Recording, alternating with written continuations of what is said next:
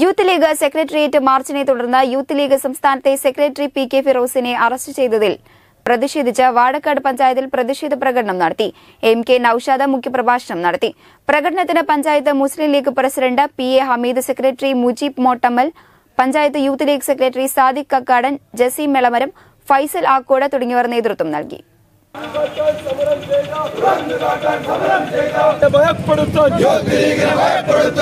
பயப்படுத்தி கீழ்ப்படுத்த பயப்படுத்தி கீழ்ப்படுத்த பயப்படுத்தி கீழ்ப்படுத்த பயப்படுத்தி கீழ்ப்படுத்த Kerala Modi Pinarayi.